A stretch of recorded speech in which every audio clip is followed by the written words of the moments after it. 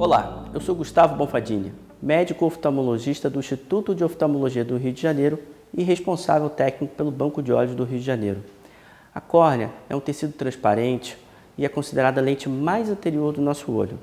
As células endoteliais, ou o endotélio, é a camada mais interna da córnea, responsável por manter a córnea transparente, ou seja, essas células retiram a água da córnea, fazendo com que ela se mantenha num formato adequado, fazendo com que a visão seja adequada para esse paciente.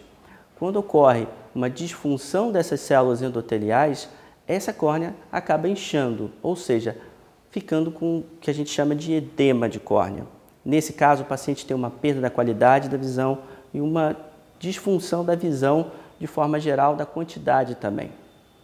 Se a gente pudesse classificar é, as disfunções do endotélio da córnea, a gente teria três grandes grupos de doenças. O primeiro seria uma alteração genética, ou seja, o bebê já nasce com essa alteração e o médico oftalmologista tem que passar por avaliações constantes de perto com essa criança para a gente poder intervir caso seja necessário.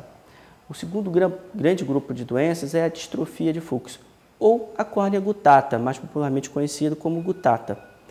Nesses casos, é uma, é uma distrofia, uma alteração genética, que o paciente apenas desenvolve é, essa degeneração a partir dos 40 anos de idade, geralmente.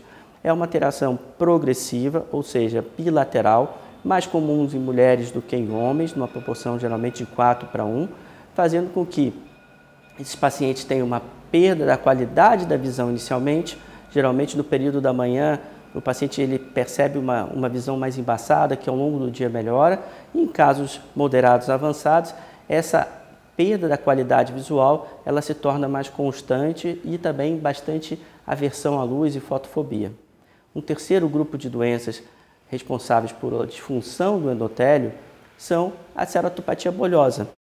Ela é causada por algum trauma ocular, uma perfuração dos olhos ou até mesmo cirurgias intraoculares que tiveram grande manipulação cirúrgica. Se a gente pudesse é, orientar os pacientes no que a gente tem de hoje de informação de tratamento, eu poderia dizer que o tratamento basicamente ele se resume em tratamento clínico e tratamento cirúrgico. O tratamento clínico basicamente é através de colírios que vão fazer com que essa córnea fique menos inchada, menos edema de córnea e com que a visão desse paciente se mantenha ainda satisfatória por algum tempo.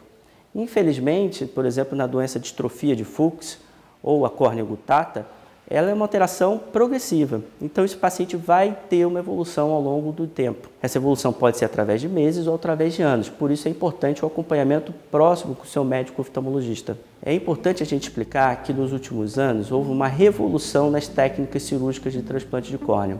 Quando a gente fala do transplante endotelial, Estamos falando de técnicas que transferem para o paciente apenas a camada interna dessa córnea, ou seja, antigamente a gente tinha que retirar toda a córnea do paciente, que é o transplante penetrante, a técnica tradicional, e dar de 16 a 24 pontos que eram retirados ao longo de seis meses, um ano.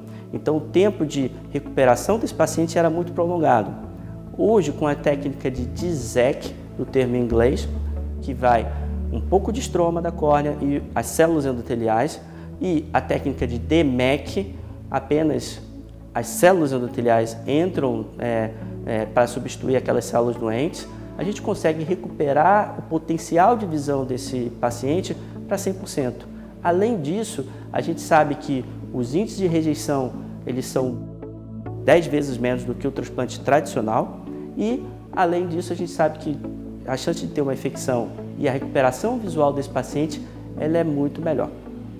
Ou seja, resumindo, as técnicas de transplante endoteliais elas fizeram uma revolução é, na vida desses pacientes. Com uma cirurgia que a gente consegue muitas vezes operar a catarata desse paciente e ao mesmo tempo substituir essas células doentes, a gente consegue fazer com que esse paciente volte a enxergar numa técnica que em um mês mais ou menos ele tem uma recuperação visual excelente e praticamente não precisando dar ponto. Então, a mensagem que eu gostaria de passar para quem tem uma distrofia de fluxo ou uma córnea gutata, por exemplo, é não se apavore, converse com seu médico oftalmologista.